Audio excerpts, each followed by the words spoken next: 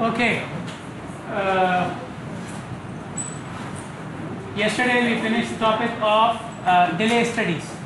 And the same lecture we had the spot speed studies and travel time studies. We discussed them together because they are related to each other. Okay.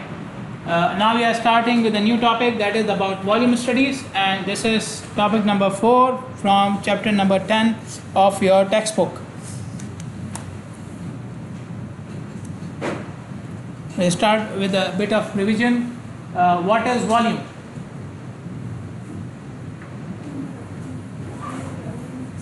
Per unit time. And when we say volume, your unit of time is what? Hour or more. Okay, hour or day. Fine. Rate of flow. The unit of time is still one hour. What's the difference between volume and rate of flow? We get what? Flow. You get flow for 15 minutes, convert it to one hour. Okay. So you can have two values uh, which are per hour, meters per hour, but we call one of them as volume if it is observed for one hour, and call the other one as uh, rate of flow if it is only observed for, uh, for less than one hour and convert it to one hour. Okay. Then we have demand. Demand means what? What is demand?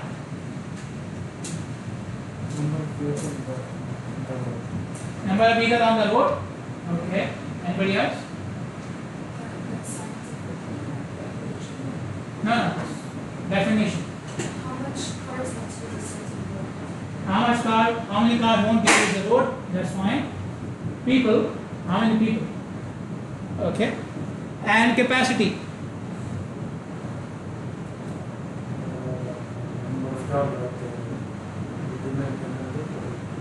Number of cars that The maximum. the maximum volume the road can handle. Okay.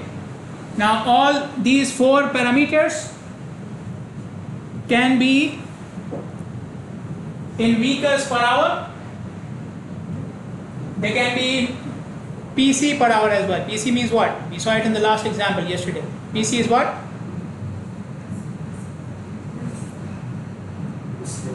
Huh? Ah, now we are making terms. Huh? We have become so advanced we can make our own terms. Passenger cars? Passenger cars, we wrote it. Okay. Passenger cars per hour. Okay, and you can do it per lane as well. So vehicles per hour per lane, passenger cars per hour per lane. These are common units for all these four terms.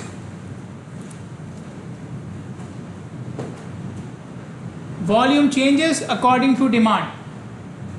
People plan their activities and that generates demand. And the demand is basically affecting the actual volume. This demand can change in different times of the day. Okay, demand in the morning hour is not the same in the evening hour. Okay, demand can change in different days of the weeks as well. Your activities on the weekends, don't tell me about them, but they are different than the weekdays. They are different in nature. Your timing of travel is different. Your timing of trip is different. Your route is different. Okay, maybe your mode of travel is also different. Okay, so they can change according to different days of the week as well. They can change in different months and seasons as well. We are in a special season right now, which is what? Ramadan.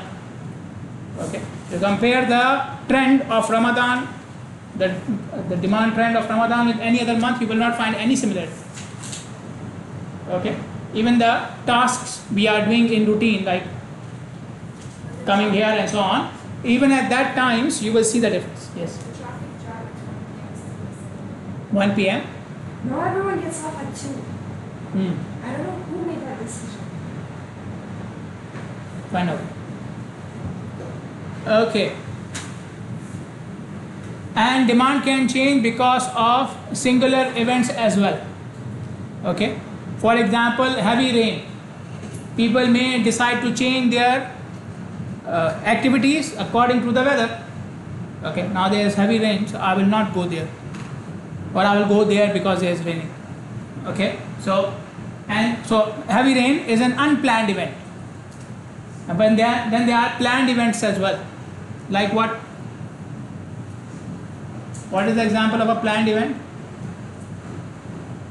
Tell. Huh?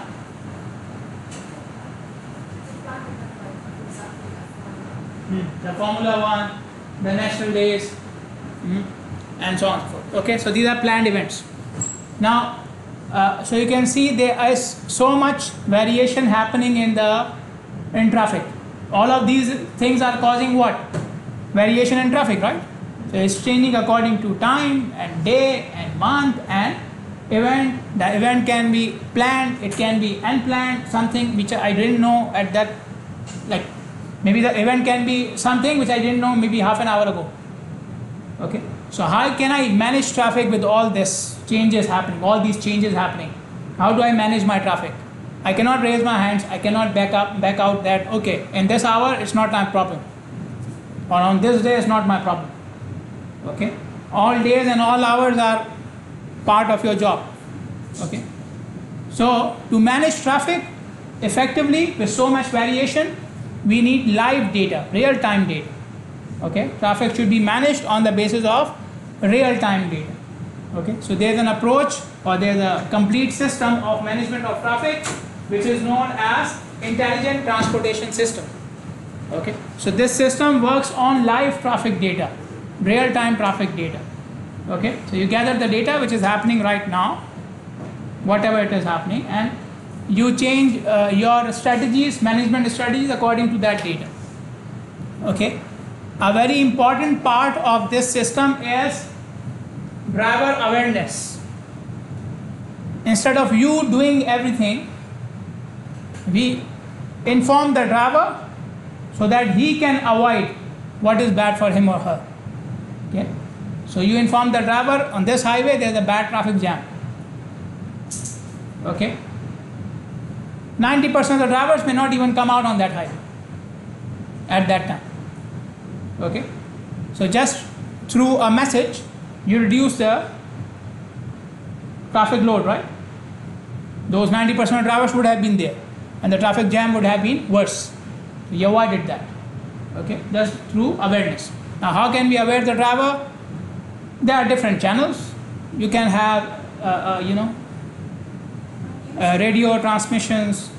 Uh, there are news channels. Okay, social media platforms. Okay, even the traffic departments and government departments have their own pages now. They have their own social media channels. Okay, in Pakistan they even have a WhatsApp group as well. You can subscribe to it. So uh, in some countries they use electronic boards on different highways. Okay, so whenever there's something happening, the board will show you the message. Traffic jam ahead, construction work ahead. Okay, reduce speed, so on. Okay.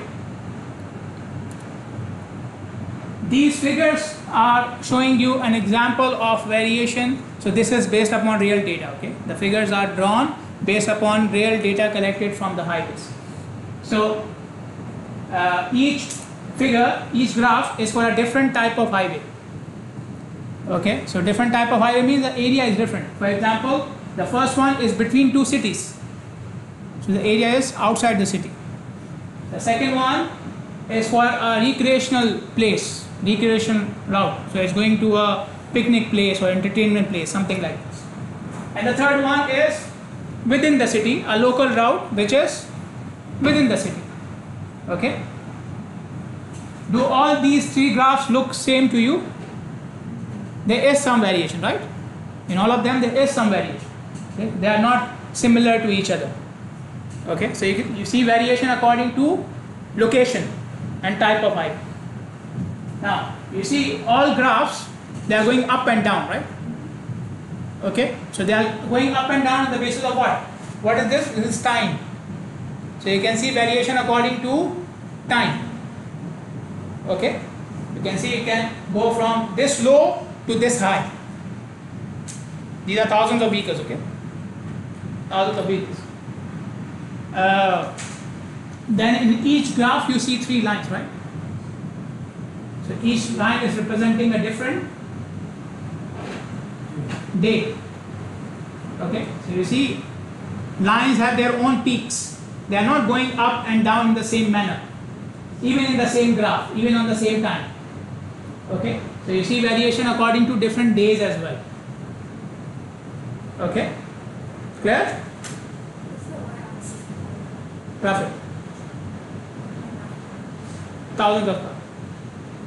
So 2 means 2000. Okay?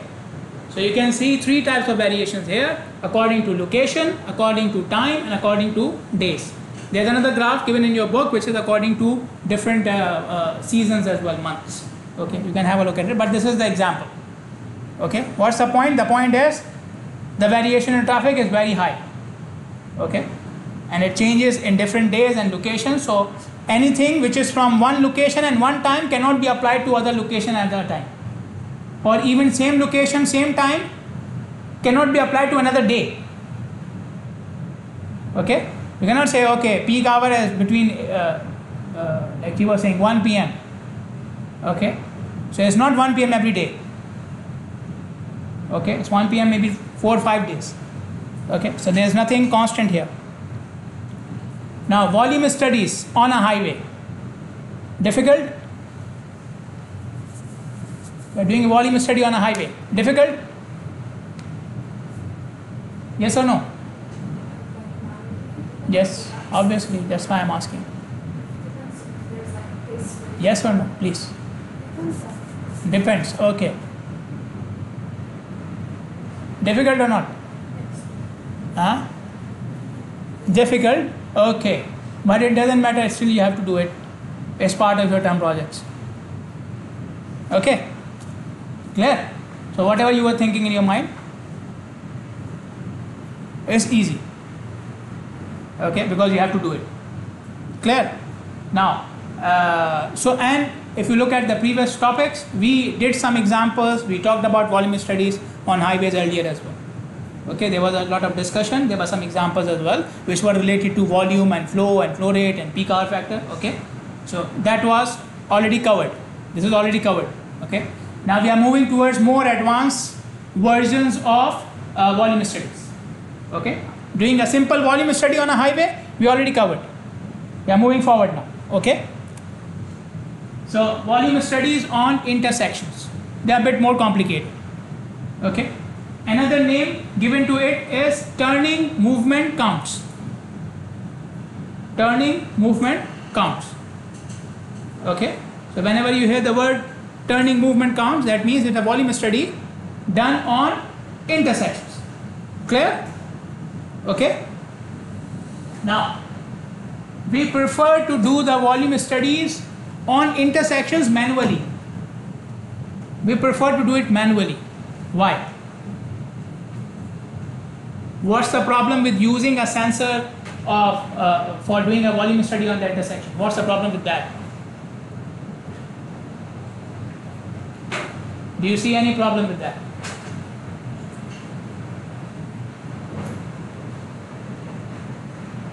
Hmm? If you put a sensor on the road near an intersection, the sensor gives you a value. Is there any problem with that value? It is solving my problem. I don't have to go to the highway now. I don't have to do it manually. Will there be any problem with that value? Huh?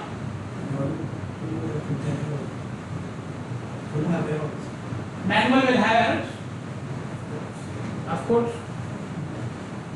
If you are doing it, of course. What's the name?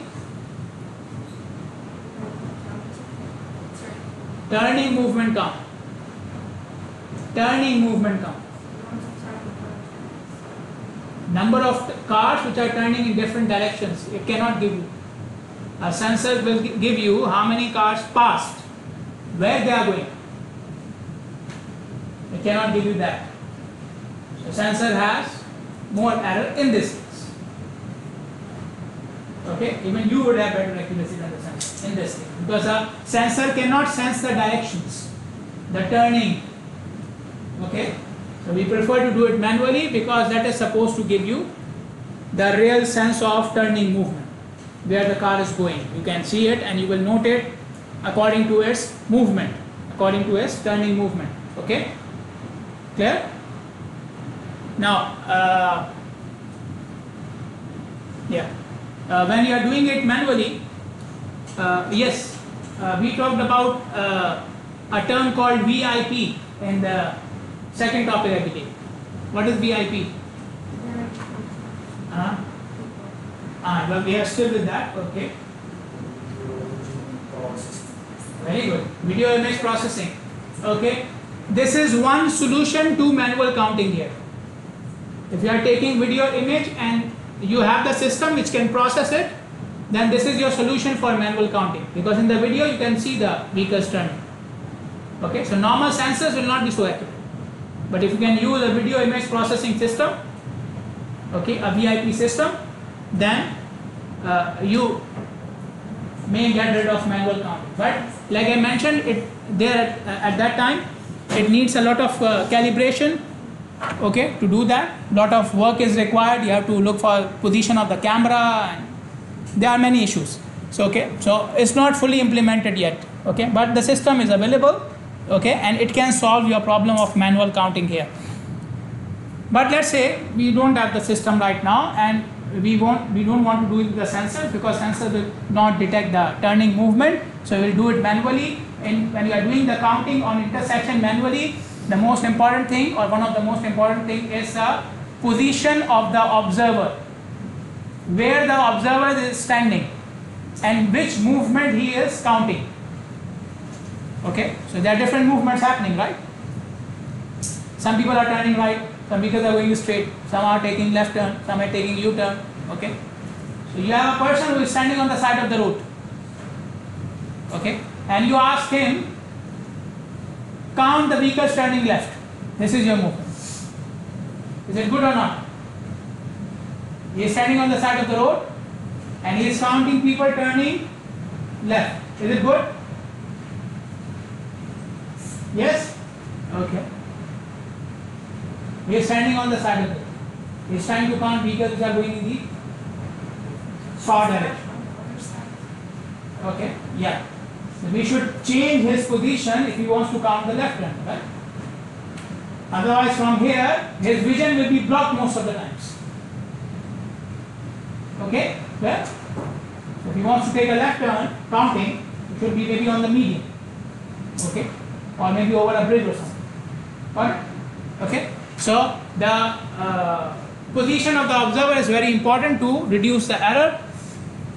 Uh, for volume studies on the intersections we uh, we uh, count vehicles when they leave the intersection when they depart from the intersection. Meaning what? Departing from the intersection when they leave the stop line. When they leave the stop line. So they are standing behind the stop line right now in a queue. I'll not count them. I'll only count them when they cross the stop line. Okay? So five cars leave the stop line. I'll count these five 20 cars are standing behind the stop line i will not count? Okay. Where do we count these cars? In which study we need these cars which are in the queue? Delay studies. Okay this is not delay studies. This is volume. So volume is only departure leaving the intersection. Okay. Yeah another important issue is how many movements because as i said each direction has three four movements right left u-turn straight. So how many movements you assign to the observer? It depends upon the observer himself his experience and skill and it also depends upon the uh, the traffic of the movement. Okay. If the observer is very experienced very skilled okay he is doing this job since his childhood he didn't have anything else to do in life he just went on the road and counting cars. Okay. There are some people like this so that type of observer may do more than one heavy movement. He may count two movements in uh, uh, in two different directions both of them having high volume. He can this type of observer he can do this because he is quick he is experienced so he knows how to deal with it. Okay? But the observer is inexperienced. Okay? Fresh graduate. One of you. Okay?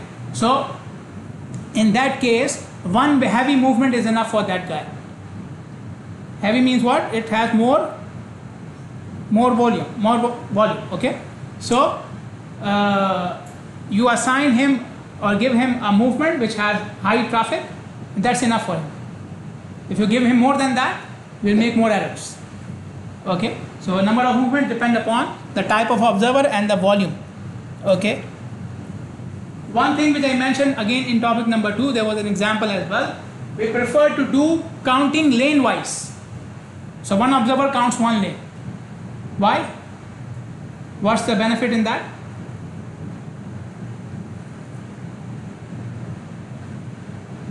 What's the problem if you are counting three lanes at a time? Why? Because you will. Why? Why one lane is more accurate than three lanes? Because if you want observer counting three lanes, you, you want to miss some. Yes. Okay. In one lane, the people are going in a line, right? So it's easier to count. Three lanes, you are counting three, four vehicles going simultaneously. It's more difficult. Okay. So we prefer to do it lane wise. Okay.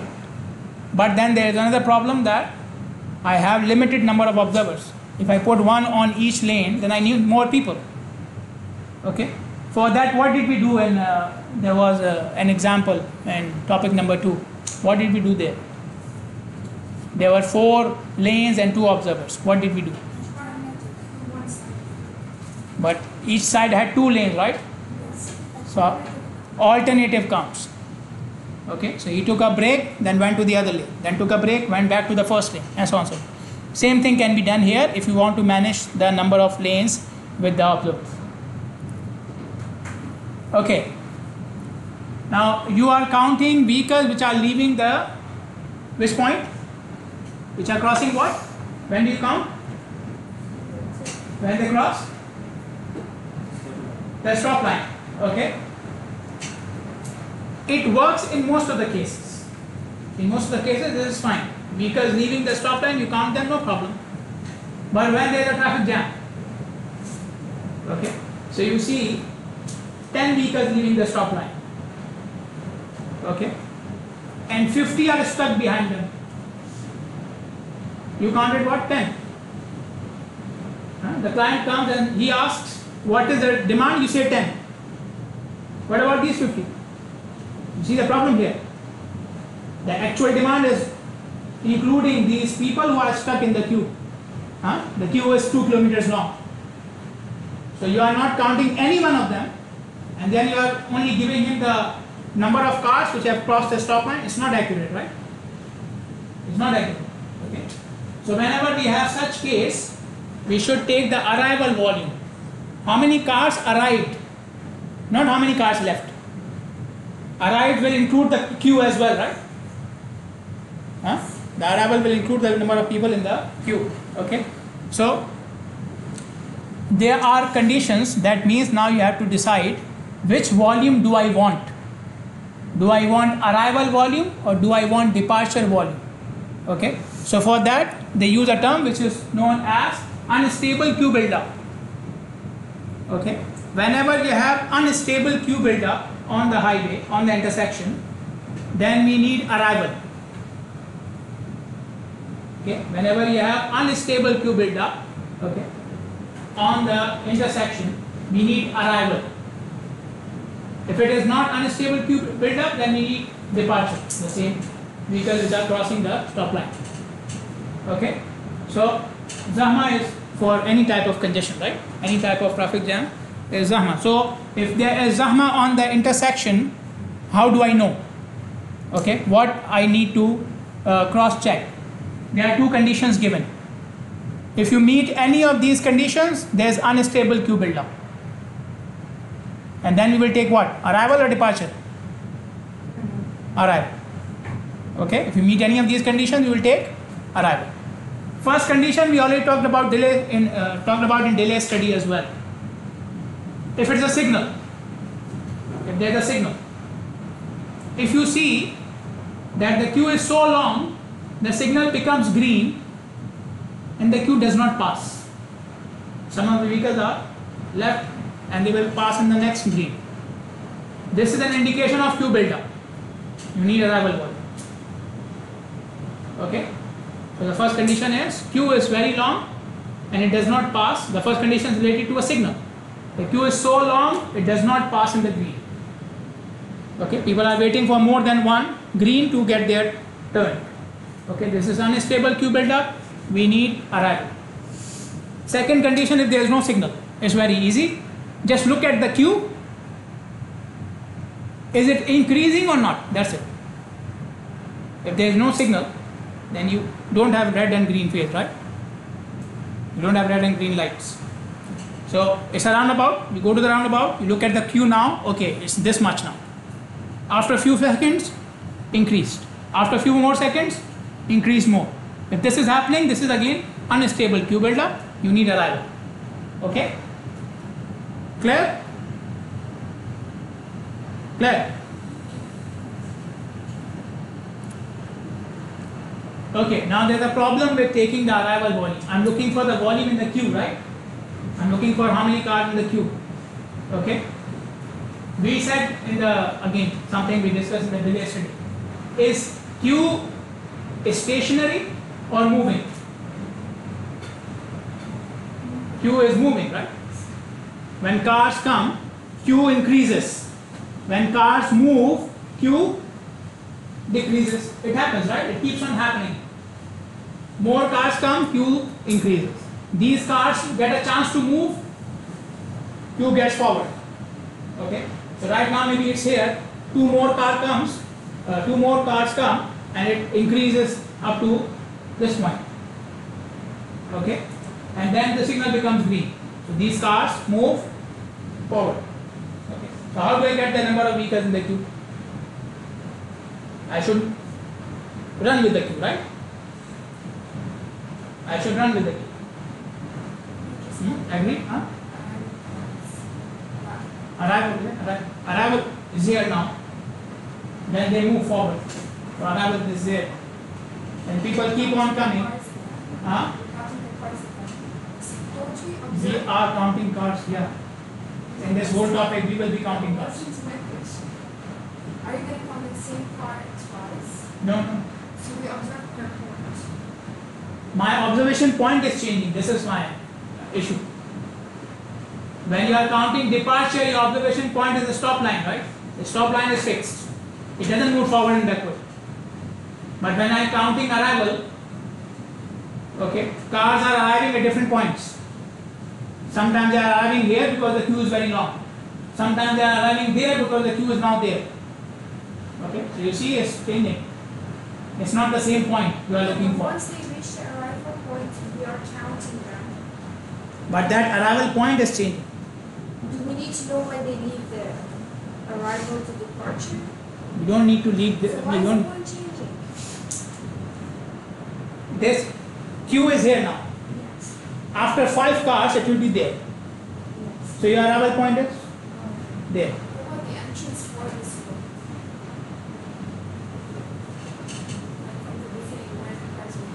It's an intersection. Yes, so. So same problem. You go from one intersection to the next intersection, and at that intersection, cars will be going in different directions. Entrance point means what? An intersection, right?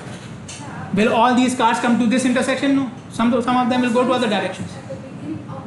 Beginning means an intersection, right? What's the beginning of the road?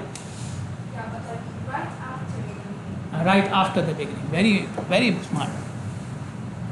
Okay. You get the point. All of you understand the problem? You understood the problem? Why we need to go to the beginning? Okay. So we have a mathematical way to calculate these uh, arrival volume.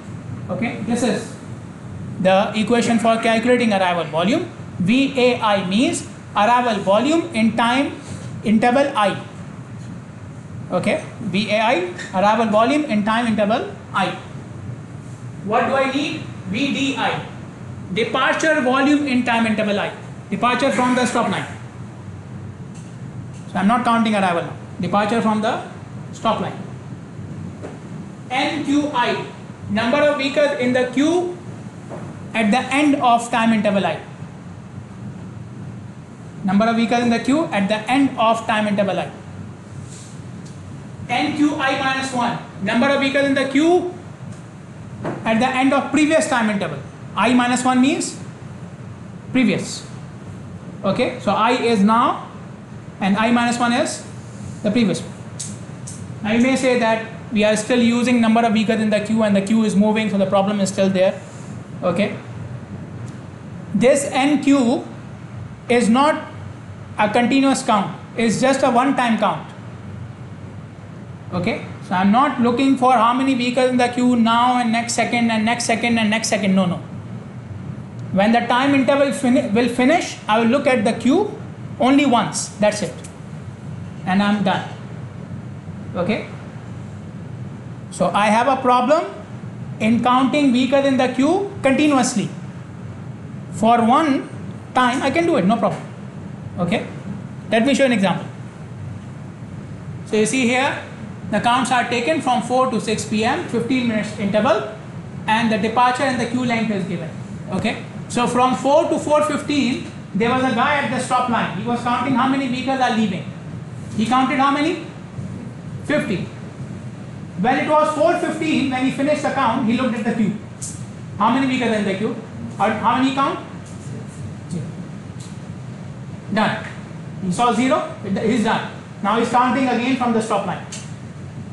Queue is done. Okay. He's at the stop line again. He's counting. Now he counted how many vehicles? 55. 55 till 4:30, right? When he finished at 4:30, he again looked at the queue. He found how many vehicles? Zero. Okay. Between 4:30 and 4:50 uh, 4:45. Now he's again looking at the stop line. He counted how many vehicles? 65. Huh? 62. 62, right? At 4:45, he looked at the queue. How many vehicles he saw? One. Okay. Now coming back to the equation of calculating arrival and departure. So, sorry, departure is given. Calculating arrival. In the first time interval, 50 left and nobody in the queue. So how many came? 50. 50. right? Between 4 and 4.15, 50 vehicles came, all of them left, so there is no queue. Simple. Next time interval same, right? Same. Next one. Between 4.30 and 4.45. 62 vehicles left. Five of them or five more are in the queue. Okay? So how many total? 62 plus 5. Does any of them include queue from the previous time? There was no queue before this, right? In 4.30 there was no queue. Okay? So total number of vehicles arrived 62 plus 5 minus 0 if you want to make the equation. Minus 0. So 62 who left? 52, uh, sorry, 5 who are in the queue and 0 who were in the queue before. So total 67. Okay. Next time interval, how many came? 65. How much is the queue? 10. Is this the queue? Uh, is this uh, the queue from this time interval? No. 5 were from the previous time interval. So 65 plus 10 minus 1. Okay. So 70. Okay. Similarly, you will calculate the other values as well. Okay. Now what is happening? Come to the second last value, 530 to 545. Is there any queue? 530 to 545. Is there any queue? Okay. So how many departed? 62. How do I get 57 here? Because the 5 62 plus the queue, right? Q is how much? 0. But there was a queue before. So these 62 include that queue.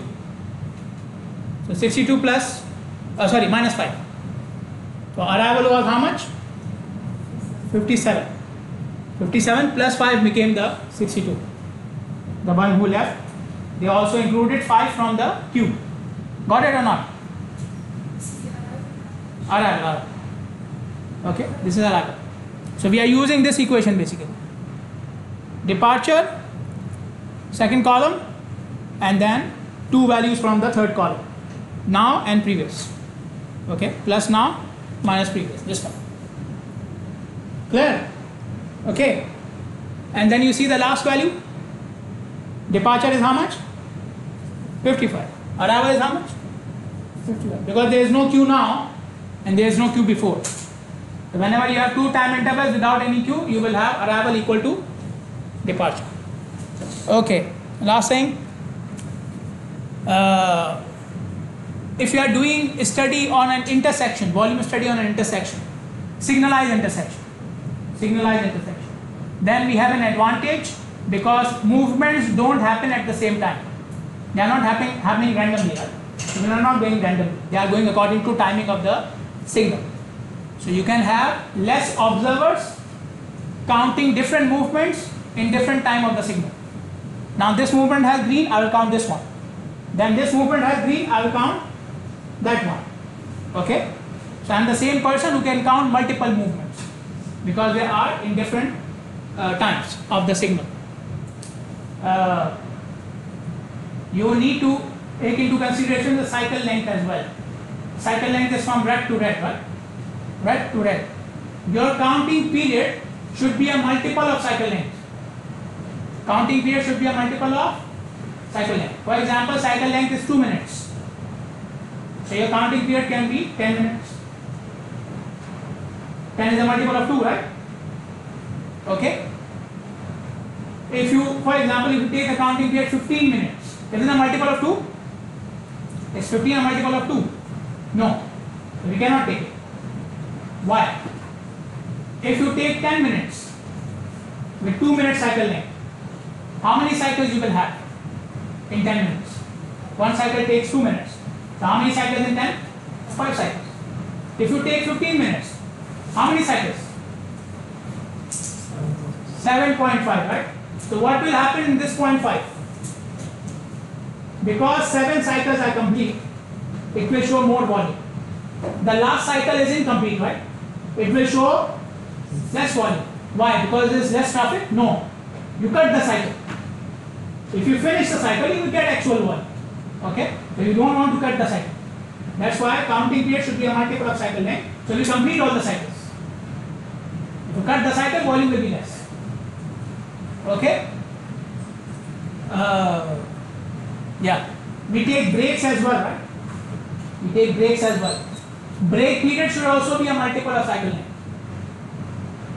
The break period should also be a multiple of cycle length. So counting period is a multiple of cycle length. Break period is a multiple of cycle length. Total will also be multiple, right? You count for 10 minutes. Multiple of 2, right? Or multiple of cycle. You rest for 2 minutes. Multiple of cycle right? Total 12. 10 plus 2, total 12. Is it a multiple of cycle length? So every counting period, uh, counting period, break period, total period, all of them should be multiple of cycle length. Okay. There's one exception here, which is when you have signals with a sensor. We call them actuated signals. So what happens? According to the data from the sensor, signal timing changes. Signal can increase or decrease yellow time, flashing green. These times can change. So these times change, meaning the cycle length is changing, right? The cycle length is changing. So which cycle length I will take now? Maximum. We will take max, uh, multiple of maximum cycle length. So cycle length is changing between 1 minute and 3 minutes. Your counting period, break period, total period should be a multiple of 3. The maximum value. Okay? The maximum. Got it? Because I don't have a constant number, right? So I have to take one. Which one? I will take the maximum. Okay? I want a multiple. The multiple of which cycle length? The maximum. Okay? Uh, why we are allowing this? Cycle length is changing according to what? What is changing the cycle? What is changing the signal timing? In actuated signals, why the signal timing is changing? Because of the because of the sensor, right?